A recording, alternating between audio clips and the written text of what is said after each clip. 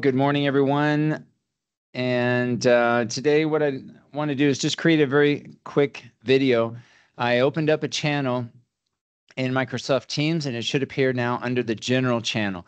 We'll continue using the general uh, channel for general information. Anything related to the course, I'll continue using that that channel. But this second channel called videos is a space for any of you that need to complete a video assignment. This is a, an alternative to, let's say, using Canva or uploading to YouTube or even your your personal Google account or even SharePoint, your own um, Edu account using your own uh, university email. Uh, this is an alternative to using those spaces. So if you're not familiar with Teams, you can go into this channel and create uh, a video. And if you are on a computer, which I think is easiest, I think you can do this also on your cell phone, but you are essentially creating as if you were going to meet online a, a video chat. And you have an option to invite others. If you're working on a team project you might all unite or join in the, the session at the same time.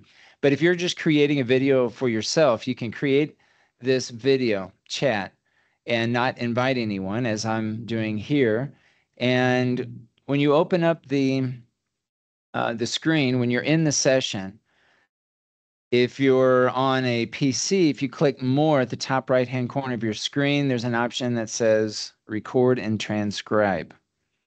And you can begin the recording as I've done here, and this will uh, create a recording, right? And so once you have completed this session, what I would do is I would go in and, and stop the recording and then leave the session I would say in the meeting. You actually have a, an option to leave the session or in the meeting. I would end the meeting to conclude the whole the whole session. And let me see if I can try this by sharing my screen. I'll show you where the video of the recording will reside. It'll it'll be in the files tab under uh, the videos channel, but let me see if I can share my screen because this is also what you're going to do whenever you create a let's say a presentation it's not just a talking head video where you're actually going to show some slides. You're going to want to use the screen share. And so I'm going to try to do that right now. So I'm going to share my screen. And I should be sharing my screen now.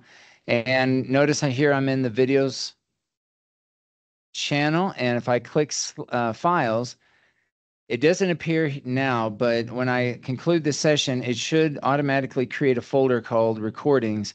And in this files tab under the the recordings uh, folder, you should have the actual video. It should have the file. All right, so this is where you can, or this is how you can create a video, and then you would share, as you have done in the past, share the link to the video that now is going to be in Microsoft Teams to the Teams assignment whenever you're submitting the assignment for uh, for uh, for the class. All right, so I'll go ahead and stop sharing, and that's what I wanted to share with you. I give you an alternative to creating a video. So again, you don't have to use your personal space for these videos. You can always, once you've created the video, move the video somewhere else if it's for the purposes of your e-portfolio. You can uh, easily move it to your own SharePoint uh, file. And that's actually what I would suggest that you do because any files that you create in this space for our classes is going to be temporary in the sense that once the class is finished, um, these classes don't stay out there forever. Uh, the videos will eventually be deleted. And so it's pretty good. I think it's good practice to once you have completed the file or completed the video, then move the file. In this case, I would suggest to your SharePoint space. Again so you don't take up any personal space from let's say a google doc or google drive um, or any other space that you're using where you're limited to uh, the size or the amount of space that you have. All right so wanted to share that with you. If anyone has questions about getting around Microsoft Teams, creating a chat like this, let me know. If anyone wants to meet online briefly to run a test to see how how it works, uh, I'm certainly open to do that as as well. So try it, test it, and you can always do what I'm doing here and test it. Record just a few seconds of a video and uh, see if it works, and then always go back. Then you can uh, delete the the the video if if you're just testing it. Okay, so that's what I would do. I would test it beforehand to see how it sounds, see how it looks, see that you're able to create the video and the file. And then once you've completed it, you can always delete it if you're just testing it. All right, so we'll stop there. Again, let me know if you do have any questions about creating a video in Microsoft Teams. Okay, this is a follow-up video to the uh, initial video that I created showing you how to create a, a video in Microsoft Teams.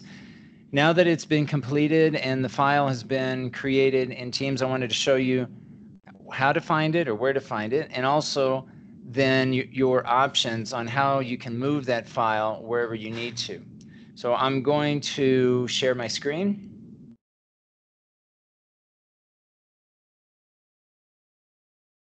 And Again, we're in the videos channel. Make sure that you're in the videos channel, not the general channel whenever you're going into files, because each channel has its own group of, of files.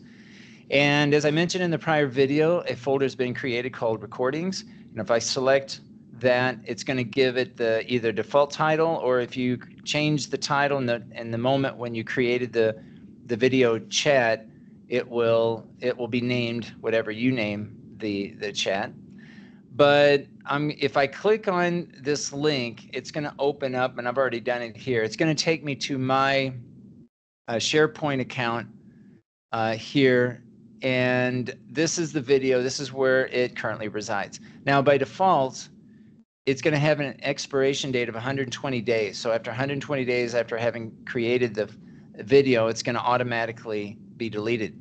So you can decide on if you want to change that date let's say to the end of the semester you can you can add a specific date in this case for this particular video i selected no expiration date because this might be a video that i use in the future but you can decide on on what date you want to either have it automatically deleted or you can just leave it out there um, so but i would suggest once you have created the video that you move it some someplace. It's perfectly fine for the purposes of an assignment, typically to to leave it here and have it, you know, meet some kind of uh, class requirement for an assignment.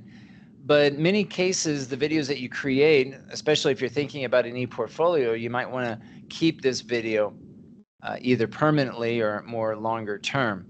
So I'm going to give you some options on how you can do that. The first option is clicking the ellipsis here, these three dots. You have an option to download the uh, the video. Of course, you also have an option to delete, but let's say you want to move it somewhere else to, let's say, uh, a YouTube channel. Maybe you want to submit it to a Google Drive or anywhere else. You can download the file to your local computer and then and do whatever you would like with that video that's one option. Within SharePoint, which is where we are now using Microsoft Teams, you can move it directly to your SharePoint without having to download it and upload it again. And if you select Move To, and you select My Files, this should take you to your files in SharePoint using your, your uh, institution account. In my case, these are my folders. Let's say I want to move it to recordings. I would just select the, the folder and click move here. In this case, I'm not going to do that at this time, but this is where you can easily move from SharePoint in Microsoft Teams for the class to your personal uh, student account using your uh, username and password that you use to sign into Microsoft 365. Uh, this is a very seamless way, very quick way to move it to your own personal space directly within SharePoint, directly within Microsoft 365. So basically, those are the, I think, two options that are going to be most applicable in our case. If you're familiar with Clip Clipchamp, you can use this to edit the video. This is a, an app that is packaged with Microsoft 365, and it's just another video editing software that you might find useful if you create a video and you need to edit the video. I'm not going to go into it in this short video here, but do know that this is where you can access Clipchamp. You have it uh, as, as students of uh, the, uh, the university, you have access to, to this information, this, these apps. So I would uh, take advantage of it.